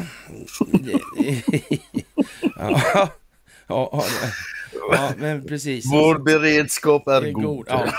Se, se, se, sluta skratta. Det här är jätteviktigt och roligt. Ja, då får jag bara stänga av ljudet. Det är deprimerande. Då får du sluta läsa. Nej, Nej går ja, ja, jag tycker viss dråplighet kan... Jag håller med dig alltså. Sedan ska tydligen officerarna stå där i sina egna kläder, höll på att säga. Men, men jag trodde det skulle stå kalsonger, men nakna, framför de inkallade. Och förmedla tillit till den organisation som inte ens ska skaffa fram uniformer. Eller hur, hur är det tänkt det här egentligen? På X tidigare Twitter påpekar And Andreas Brå, eh, kapten och redaktör för Militär Debatt, att mycket av den material som lämnas in kommer att kasseras. Man ger inte sina, eh, man ger inte hur slitna skjortor som helst till rekryterna. Eh, kängor som hade kunnat användas ett par år till kommer att slängas. Det betyder att mängden material sammantaget kommer att minska. Jag tänker att de inte begriper det. Hörru. De har inte hållit på så länge, det är fortfarande utvärdering på verksamheten. Jag vet inte. Krafttag är inte ordet som bäst beskriver initiativet, ej heller ansvar. Eh, hur kan detta haveri fortsätta? Det enkla svaret är, är, helt enkelt, det är meningen att det ska bli så här. Men eh, så, stå, så kan man inte säga. Vi, Nej, kan, vi, kan, kan vi kan inte ha det så här, sa ju ÖB Mikael Bydén i somras och försäkra att Försvarsmakten arbetar hårt med, för att lösa problemet. Och problemet är inte pengar, inte längre, utan något annat. Men vad alltså? En antydan till förklaring ges i en rasande artikel i Militär Debatt där en specialistofficer beskriver hur han under sex års tid försökt skaffa hörselskydd utan att lyckas. Jag, jag, kan inte ens med stöd av Försvarshälsan, arbetsmiljöhandläggaren, kompanichefen och AMF4, sjösäkerhetsofficer i ryggen, köpa in ett tiotal hörselskydd. Istället tvingas vår personal, jag själv inräknad, att köra båt utan hörselskydd med bullerutmattningar som konsekvens. Ordrarna studsar, förfrågningar hänvisas vidare, ingen vet var, inte vart, ingen vet var. Ingen vet vem som ska köpa vad. Ingen får ta eget ansvar ens för de minsta, mest självklara inköpen. Och nästan allt måste gå igenom den tunga, långsamma maskineri som kallas offentlig upphandling. Många skaffar till slut egen utrustning för egna pengar. Om plötsligt reservisterna måste kallas in, ja, om all personal i ett nu behöver vara stridsberedd, hur blir det då med kängorna? Det här är svenskt försvar 2023. Sverige befinner sig i ett allvarligt säkerhetsläge. Det värsta sedan andra världskriget tycker jag mig ha hört någonstans. Alltså. På mm. tröskeln till NATO. Men, eh, och detta är alarmerande, det är fortfarande fredstid. Det är inte på grund av krig som Försvarsmakten har fått brist på kängor och varma jackor. Om plötsligt reservisterna måste kallas in, om all personal i ett nu behöver vara stridsberedd, hur blir det då med kängorna? Ja, Eh, när Ryssland inledde den fullskaliga invasionen av Ukraina förra året fylldes tidningarna av spefulla beskrivningar av hur usel logistiken var. Soldaterna fick varken bränsle, mat eller ammunition. Vad spelar det då för roll om stridsvagnarna är avancerade, löd den retoriska frågan. Skrattet fastnar i halsen när man betänker att det svenska försvaret inte kan förse sina soldater med uniformer och kängor ens i fredstid. Försvarsminister Paul Jonsson måste ta itu med Försvarsmaktens episka inkompetens. Inkompetens nu, ja. Mm. ja. Det kanske är lite grann som jag eh, sa där, alltså. Angående det här, den här stämningen inom försvaret där. Det, det, det, här är ju inte bara liksom så, så på... Den masseras, me, me, säga. Menig, menige soldatnivån. Det här är ju liksom det här är någonting som genomsyrar hela verksamheten upp i organisationsstrukturen alltså. Hade jag varit yrkesofficer och läst det här så hade ju fan... Ja, det måste man, man, man, kan ju tycka då det, att ja, om, om de yrkesofficerskaden har den uppfattning de har då när, man, när de pratar om det så här Eh, de har blivit lovade massa pengar och resurser så har det ju naturligtvis inte kommit någonting då. Mm. Mm. Och, och, några börjar ju liksom bli lite rätt lakoniska för att inte säga uppgivna alltså. Mm. Sådär. Mm. Jag förstår. Och så kommer det här ovanpå nu då. Ja. Hur påverkar det så att säga, stridsvärdet inom den reguljära verksamheten tror du? Som inte har valt. Det påverkar det som det är tänkt att det ska Det skulle påverka. man kunna säga, ja precis. Mm. Det skulle och jag, man, jag, jag, vill på, ja, jag vill hävda att det är nog negativt sett. Det, det, det, det kan du nog vara rätt lugn för faktiskt. Ja, ja. Och Anneli Nilsson, en gammal arbetskamrat från nattklubben Huset på Djurgården faktiskt. Så det? Ja. Hon eh, har delat den här lunchklubben i, är idag tydligen, eh, kärnvapen nära mm. dig. Och jag såg den där igår alltså. Och det, var det gjorde jag med. Det var lite udda tyckte jag den här, eh, vad ska man säga, krig nära dig liksom. Det blir krig, det blir krig, det blir krig, det blir krig. Alltså det, det, vi har sagt så här, alltså det, det, det kan bli ett scare event. Ja. Men, men, men något krig i någon reguljär mening, det är inte aktuellt. Och, Nej. Äh. och, och det, det här med luft, luftrumsskydd och såna grejer. Men det är nog inte riktigt så. Och, och, man talar inte om vilka vapensystem man har i, i något militärt syfte. Nej, och, och, och, och, och råkar det slinka ut något lite ändå så talar man absolut inte om vilken prestanda de har. Alltså. Och om man gör det så kan man vara säker på att jag har ljugits. Ja, det där är, det är ju liksom bara som det är. Det går inte att... Ja. Faktiskt. Mm. Ja. Och ja, jag, jag, jag, jag höll inte riktigt med om gårdagens resonemang. Nej, nej, alltså, men, men å andra sidan så vet inte jag riktigt heller vad som är syftet bakom nej, nej, att nej, ta, till, ta till de där yvigheterna. Alltså. Mm. Och, och det, det, vill jag, med avseende på hur yvigt det var, så vill jag så att säga, jag vill låta det vara osagt vad jag tror. Va? Ja. För, för det, det, det, kan nog mycket väl finnas en tanke bakom att göra sådär också. Inte alls så möjligt. Nej, nej. det Faktiskt. är som sagt, vi, om vi tittar återigen, backar idag vad vi har pratat om och vi pratar om Gardell-artikeln, vi pratar mm. om den här artikeln och så vidare. Och den nivå som krävs för att nå mm. så att säga, fram på rätt nivå. Mm. Då, då, känns det tyvärr som att ja, det är nästan som man måste ha så här slapstick, alltså snubbla och få gräddtårtan i ansiktet. Och det är liksom ja. nivån på det hela tiden. Ja, ja. Mm. Jag önskar jag kunde säga emot det. Det kan jag ju för sig, men inte med någon, oh, inte med någon större power. Nej. ja. Till, Tillväxtverket utsatt för bedrägeri. Då luras av fejkad chef. Jag vet inte eh, hur många gånger vi ska behöva... Det är liksom... Vi kan vara hyggliga då och säga att det är den svenska naiviteten som slår till. Ja. Ja, det har ingenting med korruption att göra. Mm. Det är naivitet. ICA-handlarnas förbund, ja. Mm. Mm. Och återigen, det här med Blackrock och Vanguard och deras investeringar i Kina trots amerikanska sanktionslistor. Skulle det visa sig att det har försiggått valfusk och den amerikanska militären är inblandad, då är det bara för militären då att expropriera Vanguard och Blackrock och det är ingen som kan säga någonting. Det gäller samma sak för Facebook och Youtube till exempel. Det finns inte ett enda jävla företag det inte gäller för. Nej, faktiskt inte. Inte ens Ericsson höll jag på att dra till med. Utom möjligtvis Ericsson. ja men så ja. alltså. Nej men det är som det är med det där ja. Ja lite så. Det där, ja, men det, alltså, i, i den änden finns det ens något att, att diskutera. Blir det så att de kliver in då är det så. Och, de, och varför är det så? Därför att de har de stora pistolerna. Ja. Sen kan man tycka vad man, jag är inte görförtjust i det på det sättet men mm. i grund och botten så handlar det om syftet. Jag har alltid, alltid varit, jag har aldrig varit annat. Syftet i grund och botten och intentionen mm. bakom. Det är det som är.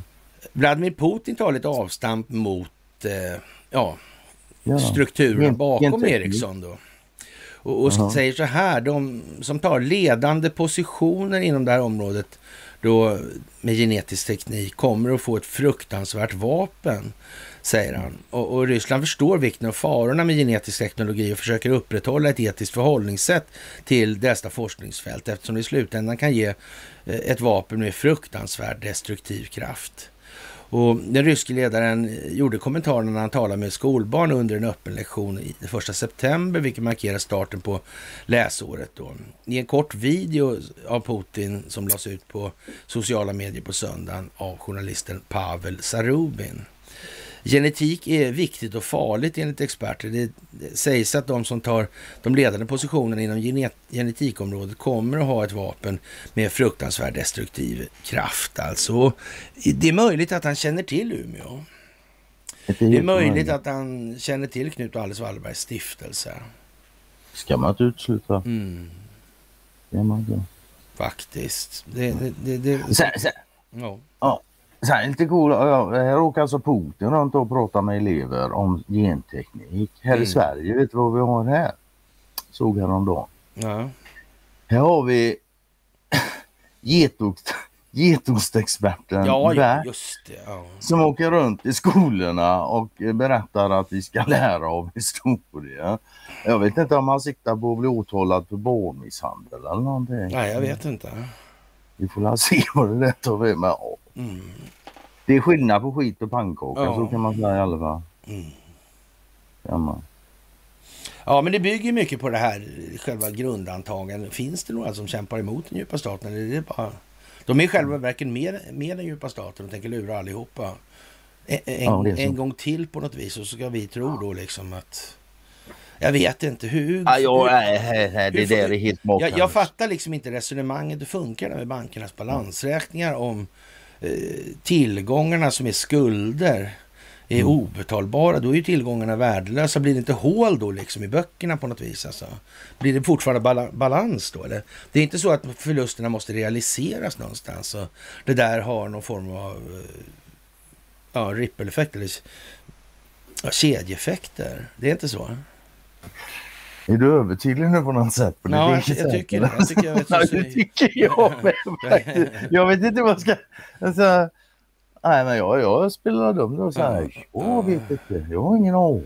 Frågan är hyperbolt retorisk. Mm. i kubik. Ja, men sådär alltså. Ja det är så. Jaha. Men du, fan, det, här, ja, men det här var roligt. Den kom som en kommentar. Marcus Oskarsson, vår kära Kajolis. Vet du vad? Nej. Han skriver idag uppgifter mm. ifrån Ukrainas underrättelsetjänst. Okay. Putin är försvunnen. Oh shit! Yes! jag vet inte. ja, ja.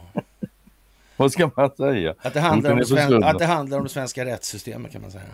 Ja, det kan man säga. Det kan man säga. Ja, det, var någon, det var någon annan som skrev om det svenska rättssystemet också någon gång. Tror jag. Uttrycktes i alla fall om det svenska rättssystemet i pressen. Och så, men han skrev brev däremot till Donald Trump. Ja, det gjorde han. I den här boken Letters to Donald ja. Trump. Mm. Han skrev ett eh, hyfsat långt brev om, om vad han gjorde. Det skrev han januari 23 i år alltså. Det finns i boken. Och där summerar han ju en hel del av vad han gjorde. Han var på Balkan, han var här, han var där, han var lite överallt. Det, begav sig. Ja, det, kan man säga faktiskt. Och sen så var, men det nämnde han aldrig i brevet faktiskt, men sen så var han i Stockholm också för att det var en rappare som åkte Man bara, jaha. Man läser det där som han var inblandad i under de tre åren han jobbade för Trump i administrationen. Och sen tänker man, och den skickar de till Stockholm för en rappares skull. -hmm. Ja, ja. Mm. Så kan det ju ha varit. Ja, han anses ju internationellt vara de mest kvalificerade gisslanförhandlare som har mm, så. ställt in det, skolor ja, det, i en statsadministration. Alltså. Ja, det, det är ju ingen som liksom kastar skit på hans uh, yrkeskapacitet vad det verkar. Mm. Hans, nej, han, han verkar respekterad mm. i det han gör. Mm. En annan respekterad herre här på planeten det är ju Vladimir Zelensky. Alltså. Han sparkar nu sin försvarsminister. Som konstigt nog har suttit jävligt länge. Ja. Jag förstår. Ja. Men nu ska han bort. Ja, jag vet inte. Konstigt det där. Tror du det finns någonting i bagaget på den där? Det är helt omöjligt. Ja. Var, var än vara månde, men någon är det nog dåligt för i alla fall. Ja, så kan, han kan nog veta ett och annat som folk tycker mm. att han inte ska berätta. Det, så kan ja. Faktiskt. Hans mandatperiod har kantats av flera korruptionsskandaler, främst inblandade anskaffning av utrustning och livsmedel för landets militär till onormalt höga priser. De är ju mm. rätt låga de här priserna när de får de alla fall grejerna. Ja, det kan man säga faktiskt. Mm. Ja. hyfsat, hyfsat billigt. det verkar inte vara så att det är den operativa militära förmågan för Ukraina som har varit främsta målet med, med verksamheten. Mm. Faktiskt. Det verkar den egna det, alltså, Ja, och så en bild som jag tycker trädde fram när det gäller Ukraina det är, det är väl att det, det verkar vara ett av de få länder som faktiskt kan tävla med Sverige när det gäller korruption och rötet. Ja. Det, vi har ju samma färger i flaggan med. Vi har ja. gamla band. Jo, men det är bra. Alltså. Han sagt ja, till och med. Ja, ja, Visst. Och Liberalerna förespråkar permanent utplacering av NATO-baser i landet efter att kungariket har gått med i alliansen, säger Korv-Johan Persson i Sveriges Radio. Ja, vad ska vi säga? Politikern förklarade behovet av ett sådant steg som en möjlighet att stärka svenska folkets säkerhet vid ett allvarligt yttre hot. Men jag tycker det verkar, det här har ju hållit på en bra stund alltså. Vi har ju rätt att begära in det där enligt det här. Ja, ja vi har ju bilaterala avtal ja. med. Så det, det, här med NATO är ju liksom ingen fråga på det sättet. Mm. Mm. Och sen har vi ju en försvarsindustri som är kompatibel med NATO hur som helst. Så fan. Ja. Det räcker la så. Behöver länge medlemskap när vi har det så. Nej, nej, nej. Det kan man ju faktiskt konstatera och tycka. Det är ju inget konstigt. Mm. Ja. Det, är, det är lite... Men det måste tas i väldigt, väldigt små bitar. Men nu är det ju inga ja. bitar tycker jag. Det är bara sådana här... Nej, nu är det fan puré på gång. Ja. Det, alltså, jag vet inte om de siktar på att köra in det intravenöst i folk eller... Ja. Ja. ja, det är ju märkligt alltså. Ja. Mm. Det är inget gott betyg åt den allmänna förståelsen över mm. situationen och hur det fungerar. Det är faktiskt. Nej, det, det, det, det, är lite tragiskt alltså att inte... Ja. Men, men, går att lyfta mer alltså nu. Ja, men bara det faktum att det överhuvudtaget finns partipolitik visar ju hur låg ja. den allmänna mm. förståelsen är och det är inte bara Sverige då. Nej. Fast nu idag så verkar det precis som att USA eh, på de har kommit längre i något, har tagit något steg. Kanske inte behöver just de här två blocken. Ja, kanske. Äh, ett, ett, två, ett tvåblock också liksom. Ja. Med, ja, med lite oberoende kandidater för syns skull. Ja, men så. Oh, jag vet inte. Det är så jävla hjärndött när du sätter mm. över. Men när du väl har förstått att det är grund och botten naturresursflödena och sen har du med, med, eh, pengarna på det. Och, och det här med att Ukraina ska mm. gå med i NATO. Jag mm. menar, är inte det liksom nästan övertydligt vad som ska... Signalen där, alltså värdeladdningen, den, är ju den liksom att eh, NATO är helt värdelös och ska raseras. Ja. Ja, men om, ja, ja, om, ja. om, vi ska gå med i NATO, vi har inte ens kängor och uniformer. Nej, exakt. Och man, man kan väl säga så här, när, när, när världens mest två korrupta länder ska gå med i en organisation, då vet man att den organisationen är körd nu. Det, det måste vara så. Mm. Ja, man behövde inte vara kärnfysiker när man började skrika om det där för tio år sedan. Nej, att de här entiteterna skulle haverera faktiskt. Nej, Nej. Nej det, det tyckte jag man förstod ganska snabbt. Man fick ja, koll på det här med Deutsche Bank mm. och Tyskland in, nere och USA inne och Ryssland ute och allt. Mm. Då förstod man ju. Nej. Och sen, det, det har vi också varit inne på mer än en gång. Ja men ärligt talat, ja. när Warszawapakten försvann, varför i helvete finns NATO kvar? Ja, det kan man fråga sig. Det, ja, det är helt jävla makalöst. Ja. Det är ungefär och, som antisemitism. Hur fan kan det finnas? Det finns ju ingen semitism. Nej. det är liksom... Ja. Det är liksom samma tema där alltså. Ja, det är så jävla kort. Ja. Och kan det vara därför det här med ADL är uppe?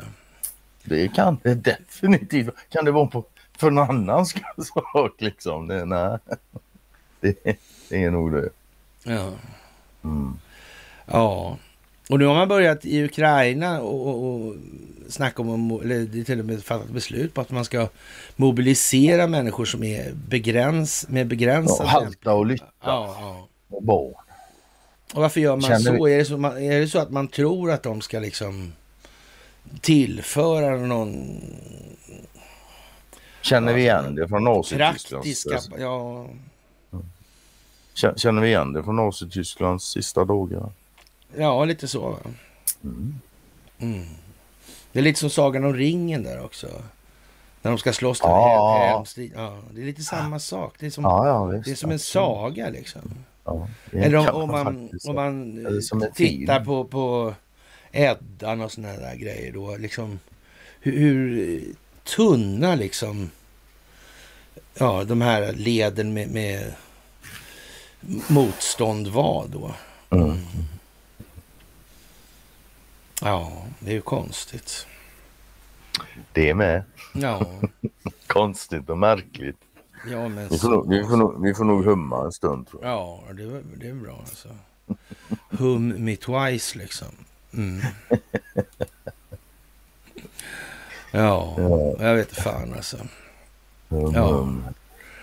Och EU liksom. Ja. Ja, det är ungefär som med med NATO det.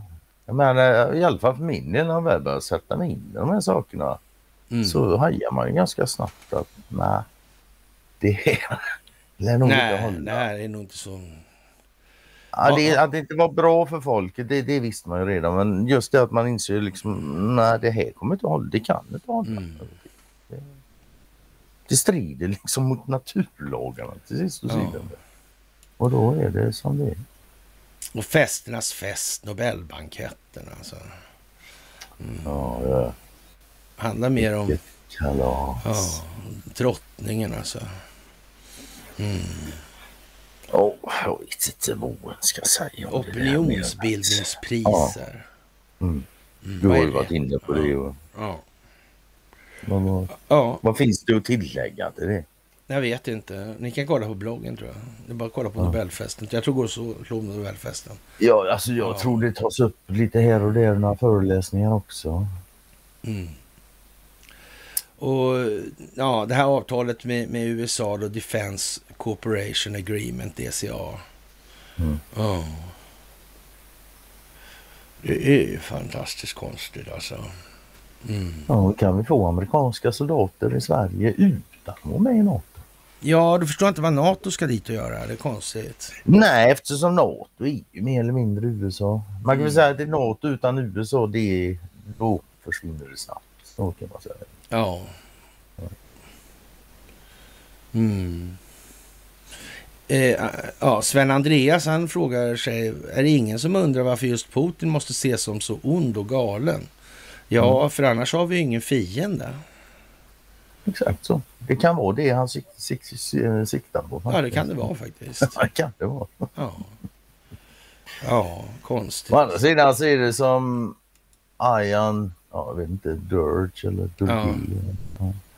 Han har ju kalla ögon. Det har ju Margot sagt. Jag ja. förlåter henne aldrig. Mm. Men en enkelbiljett kanske är bokad åt henne med världens största flygplan med destination ja. okänd. ja. ja. Jaha, och så kommer vi till den här äh, märkliga ja, angiverilagen. Ja, alltså. Det där är ju lite konstigt alltså. Tidöpartierna meddelade den 31 augusti på en pressträff att de går vidare med förslaget om anmälningsplikt. Alltså. Mm. Och att göra arbetstagare skyldiga att lämna information till polis eller annan myndighet ligger utanför uppdraget i förhållande till arbetsgivaren. Det skriver Tommy Iseskog, jurist och arbetsrättsexpert. Och vad tror du det kan vara för någonting? Mer än optik och sådär och för opinionsbildning? Ja, men alltså man kan väl tänka sig så här. Om nu det ska bli straffbart att inte ange. Mm. Då vill det för fan till att man vet att vederbörande... Andra visste som de inte angav. Ja, precis. Alltså, det, det innebär ju liksom att det blir fri avlyssning på vem som helst där plötsligt. Vad var det jag läste nu som i Jönköping? Det var lite drönare och lite no. kameror. No.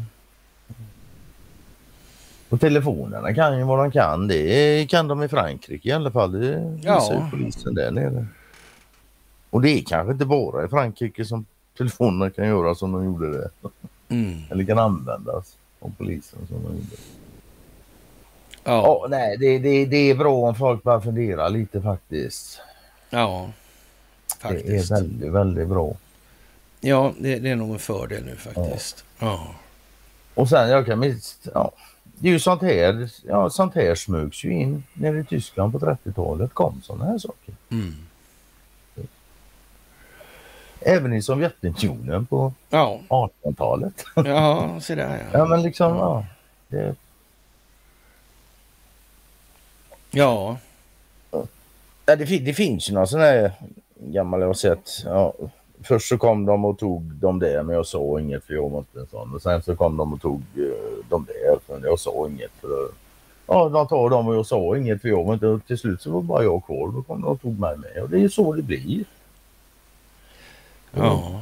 Skitsvåra resonemang sådana här saker. Mm. Du, Wikipedia har bland annat av medgrundaren Larry Sanger. Heter han verkligen så? Ungefär som Margaret Sanger. Ja, ungefär som Margaret, ja. Det är ett namn man reagerar på. Ja, hon har kritiserats hårt för att inte längre vara ett neutralt uppslagsverk. Ja, det ja. har det aldrig varit. Nej. Aldrig något. Det var inte därför det skapades. Ja. Möj, möjligtvis att någon som, som var med och startade det var idealist och verkligen trodde man kan säga det där kapades de med fan innan de förstod det hans själva. I så fall. Ja, jag undrar om det inte skapades för sådär alltså. Mm. Ja. Ja, det där är ju mm. konstigt. Det där gäller hela internet egentligen. Jag undrar det om kan det man skapades. Säga, det kan man säga. Ja, absolut. Ja, alltså med tanke på var vi befinner oss nu, rättare sagt, mm. ja, vi ihop med djupa staten befinner sig och de befinner sig i sämsta position någonsin och det är beroende på internet. Då kan man ju fundera på, kunde de räkna ut det? Ja. ja. Det verkar svårt med den här analyskapaciteten på sina håll alltså. Mm. Eller också är det folkbildning. You never know before you know, you know. Ja.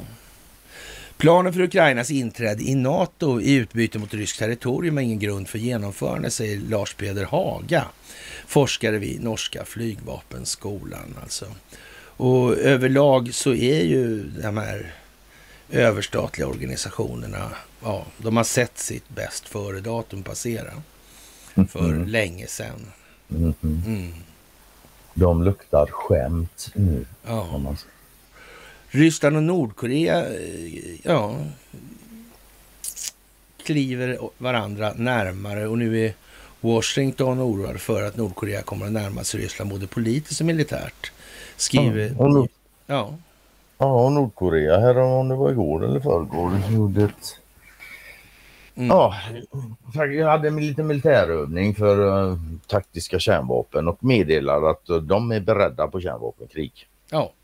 Mm. ja. Så de är redo. Ja. Fantastiskt alltså. Underbart. ja, det finns, som, det finns som inlägg där under va?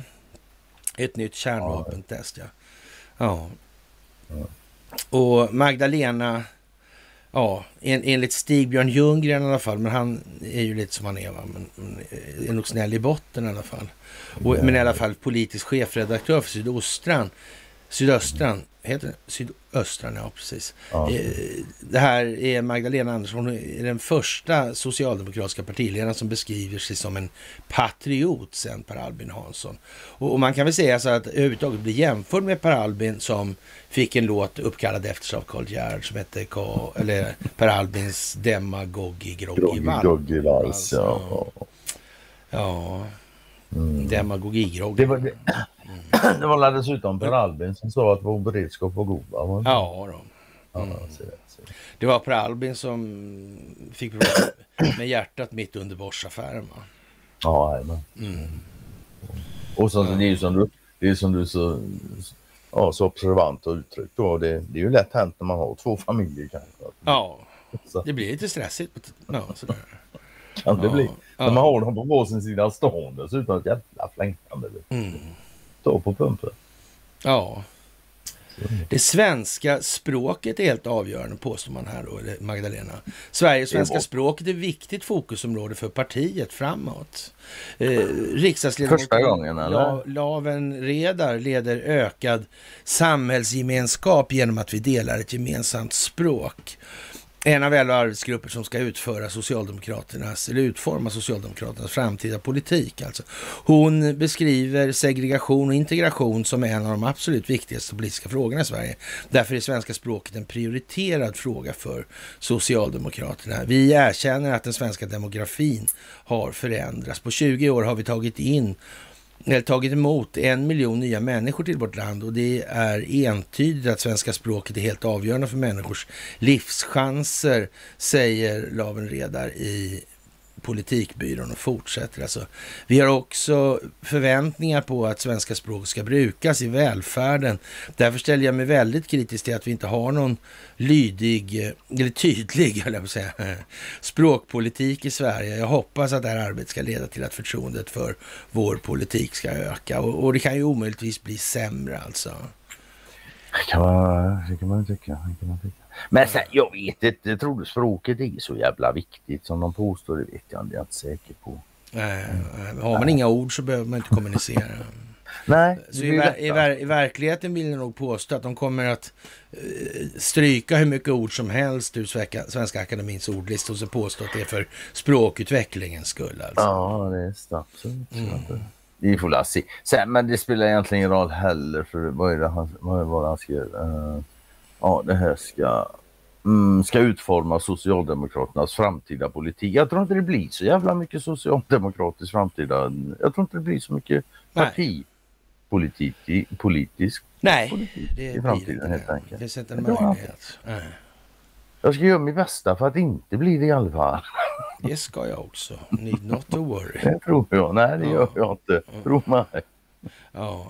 Och Joe Biden kommer som sagt inte att bli president till året ut, alltså enligt eh, Jason Chaffetz.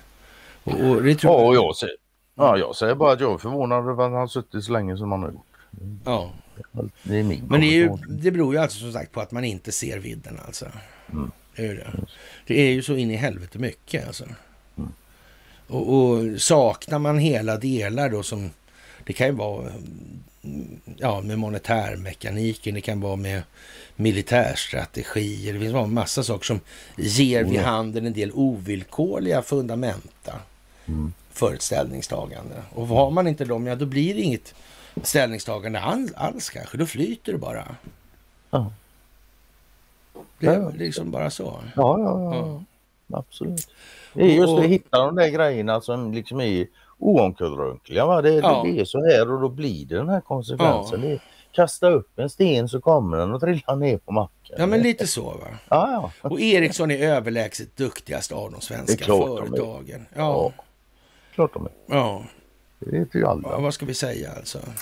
Mm. Ja, och det här handlar om att ta till sig ny teknik. Då liksom. Någonting man kan säga det är att han som är ord, ny ordförande för Wallenbergarnas mångmiljardsatsning och säger det här um, för deras mångmiljardsatsning på artificiell intelligens dessutom. WASP mm. heter det. Mm. Han heter Pontus de Laval. De Laval är ett gammalt oh. ja, svenskt namn. De Laval ja. La, ja.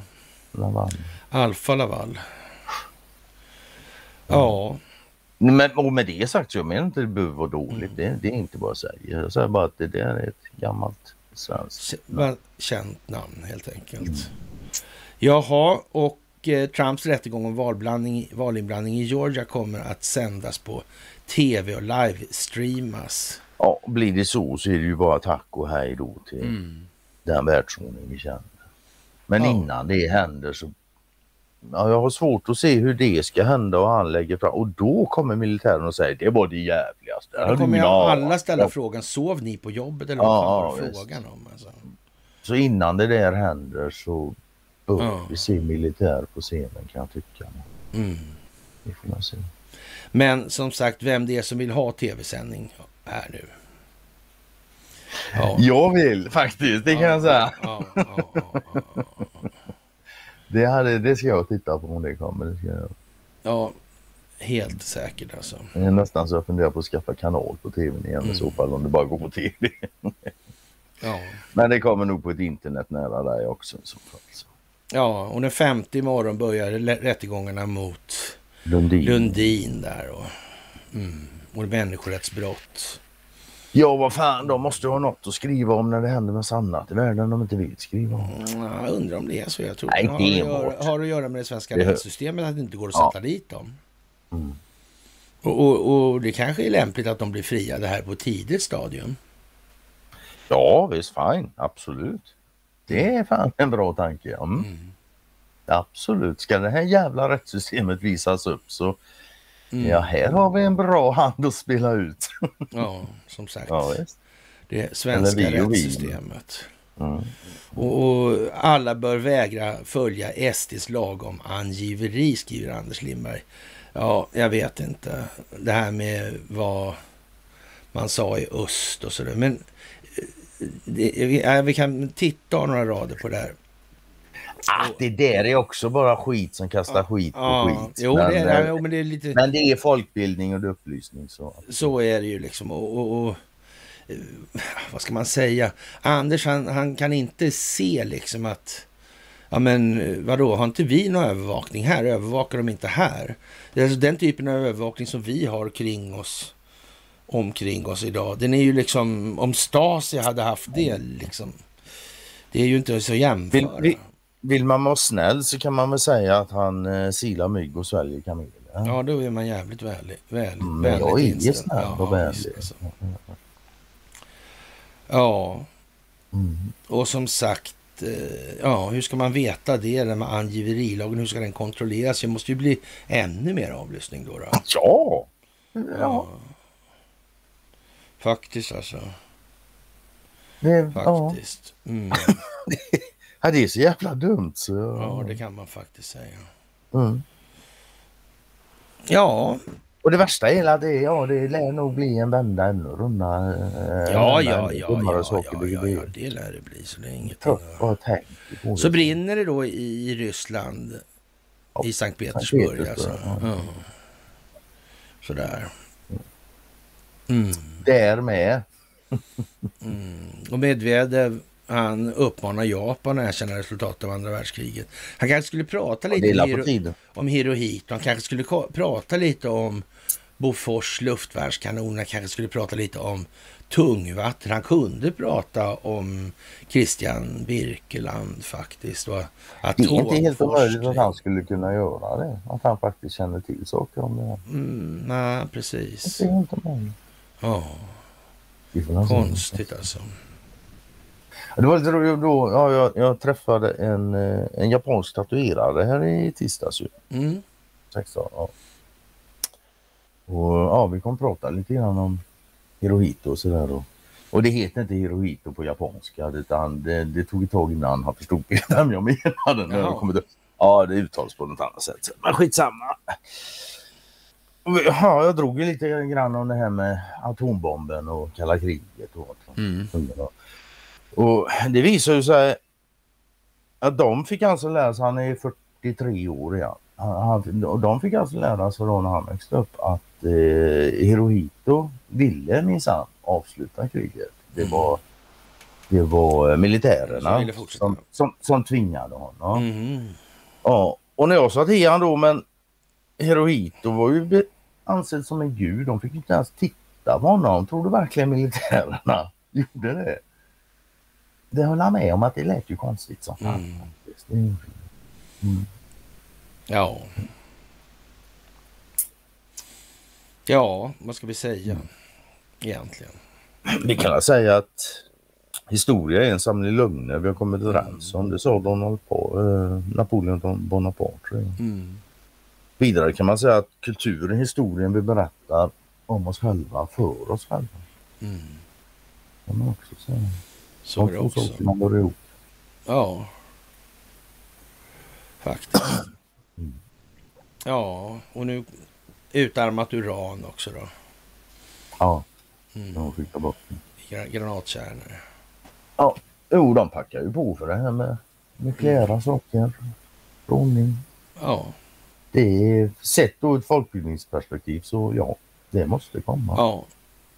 Och det gör det. Det, det gör det. Det gör det. Det gör det. Det gör det. Faktiskt. Och sen säger ju makaronen, han är lite mm, rolig. Ja. ja, han säger så här. Burkina Faso, Mali, Mali och Niger existerar bara tack vare Frankrike. Om det inte vore för Frankrike och den franska armén så skulle dessa länder inte existera idag. Och det där är ju faktiskt ja, alltså... helt korrekt. Ja. Frågan är hur jävla bra har det varit? Mm. Inte minst befolkningarna där på plats men världen i stort. Ja. Det är det som är frågan. Det är absolut, han har helt rätt Macarona.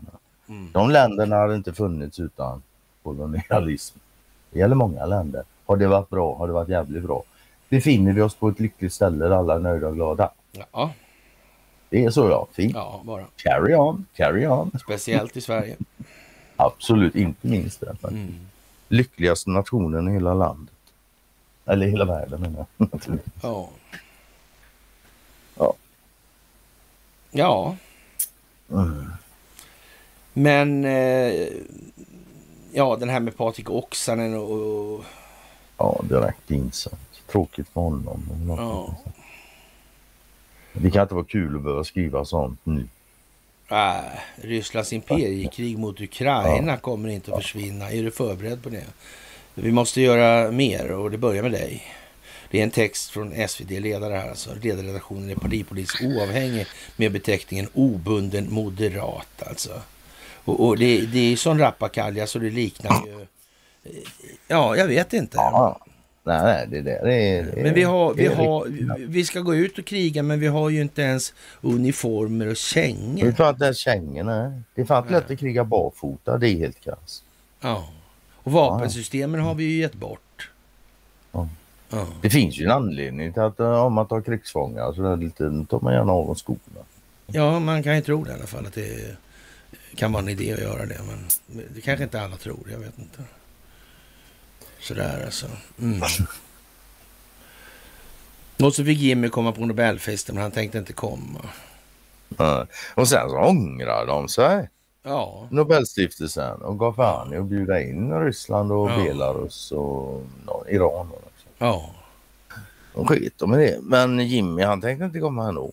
Nej. Faktiskt.